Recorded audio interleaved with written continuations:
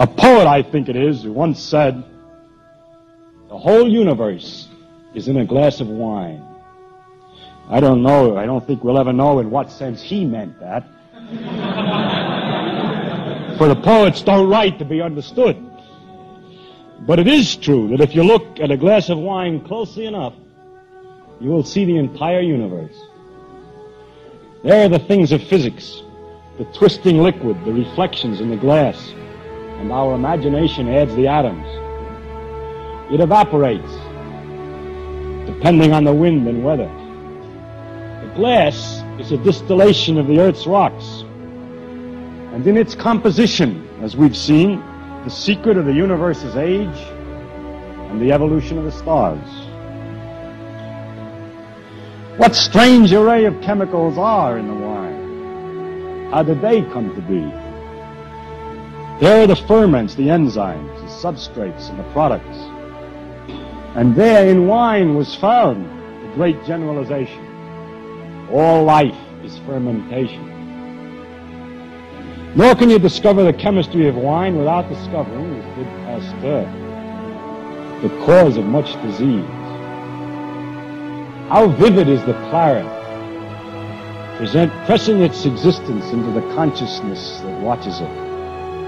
And if our small minds, for some convenience, divides this glass of wine, this universe, into parts, to physics, biology, geology, astronomy, psychology, and all, Remember that nature doesn't know it. So we should put it all back together and not forget at last what it's for. Let us give it, let it give us one final pleasure more. Drink it up and forget about it all. wave seems to move horizontally across the open sea, but the molecules of water actually move up and down vertically. Steve Grand points out that you and I are more like a wave than a permanent thing he invites us to think of an experience from your childhood, something you remember clearly, something you can see, feel, maybe even smell, as if you were really there. After all, you really were there at the time, weren't you? How else would you remember it? But here is the bombshell. You weren't there.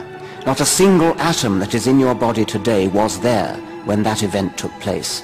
Matter flows from place to place, and momentarily comes together to be you. Whatever you are, therefore, you are not the stuff of which you are made. If that doesn't make the hair stand up on the back of your neck, read it again until it does, because it is important. The fact that we live at the bottom of a deep gravity well on the surface of a gas-covered planet going around a nuclear fireball 90 million miles away and think this to be normal is some indication of how skewed our perspective tends to be.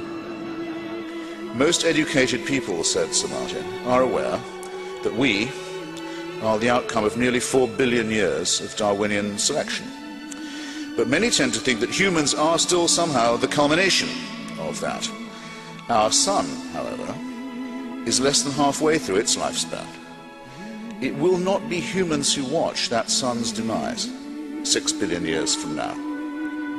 Any creatures that then do exist will be as different from us as we are from bacteria or amoeba. So you think of creatures gradually watching the sun die and they're not us. And they're as far from us as bacteria, our ancestors, are from us. Makes me feel that one uh, mustn't consider evolution uh, as producing us as its last word. That would be a sort of insult to any scientific process.